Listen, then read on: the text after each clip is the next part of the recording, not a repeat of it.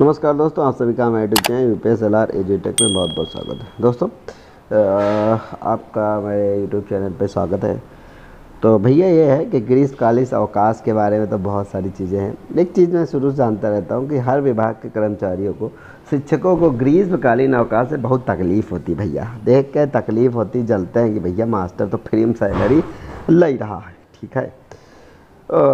ग्रीष्मकालीन से याद आया कि जब गर्मियों में, जैसे इस वक्त जब मैं वीडियो बना रहा हूँ तो क्या करना पड़ रहा है? पंखा बंद कर रहा हूँ या फिर एक नंबर पे चल रहा है? अभी नहाया है, फिर भी पसीना बहुत आ रहा है। क्योंकि अगर मैं पंखा तेज़ चलाऊँगा तो वीडियो में खरखार खरखार, खरखर की आवाज़ आएगी, जिससे वॉइस क्वालिटी पे प्रभाव पड़ेगा। तो चलिए उसकी बात जाने दीजिए। ग्रीष्मकालीन अवकाश से संबंधित वीडियो है।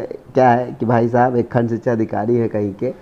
उन्होंने क्या कहा है, ज़रा आप देख लीजिए, फिर आप फैसला कर लीजिए।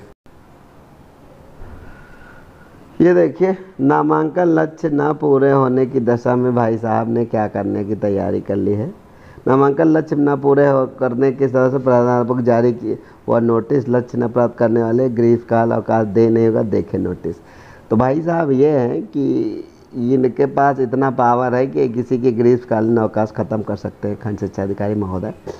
खैर, मुझे ज़्यादा जानकारी नहीं है और वैसे भी मैं आपको उसका लेटर ही उन्हीं का दिखा देता हूँ, बाकी समस्याओं का नहीं। मतलब कुछ भी, चलिए हम आपको लेटर ही दिखा देते हैं। तो देखिए, ये खंड शिक्षा अधिकारी महोदय हैं और समस्त प्रधानाध्यापक, इंचार्ज प्रधानाध्यापक, सहायक अध्यापक शिक्षा में अनुदेशक सबके लिए धाता फतेहपुर। उपरोक्त सभी सूचित किया जाता है कि वर्तमान में चल रहे स्कूल चलो अभियान कार्यक्रम के द्वारा, शासन द्वारा इक्कीस पॉइंट तीस प्रतिशत नामांकन वृद्धि का लक्ष्य दिया गया है, किंतु बारंबार निर्देशित के उपरांत भी अभी तक समस्त विद्यालय द्वारा लक्ष्य प्राप्ति असफल रहे हैं। अतः इस संदर्भ में समस्त विद्यालयों को एक अंतिम अवसर देते हुए निर्धारित लक्ष्य प्राप्ति के लिए नामांकित सभी छात्रों को अनिवार्य रूप से पंजीकरण देने के लिए दिनांक 19 पाँच तक का समय दिया जाता है। अन्यथा की स्थिति में बी एस महोदय फतेह फतेहपुर के निर्देशानुसार ग्रीष्मकालीन दे नहीं होगा जिसका संपूर्ण उत्तरदायित्व आपका होगा। तो स्पष्ट रूप से इन्होंने धमकी दे दी आ, कि भैया अगर नामांकन वाला पूरा नहीं करोगे तो आपका ग्रीष्मकालीन अवकाश नहीं होगा। तो चलिए, एक दो स्कूल हम आपको संज्ञान में हैं, जो मेरे अध्यापक हमसे मिलते हैं, उनके बारे में बता दें। एक गाँव है, ठीक है? एक ही गाँव है, उस एक गाँव में एक स्कूल है, बाकी एक किलोमीटर के अंदर तीन प्राइमरी स्कूल हैं।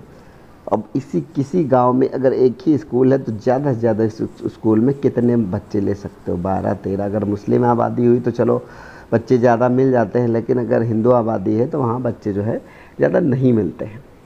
तो इस कंडीशन में चाहे जितना दबाव बनाया जाए, चाहे छुट्टी कैंसिल चाहे सैलरी कैंसिल चाहे बर्खास्त कर दिया जाए, उस कंडीशन में बच्चे नहीं मिलते हैं। और हम तो जानते हैं, बात होती है कि क्या क्या समस्या आ रही है। ऐसा नहीं कि नहीं कर रहे हैं कोशिश, वो कर रहे हैं कोशिश और सभी कर रहे हैं। चलिए ठीक है, अब ज़्यादा नहीं बोलना चाहिए। अब बाकी भैया सरकार की इच्छा है, क्या करवाती है? चलिए ठीक है नमस्कार।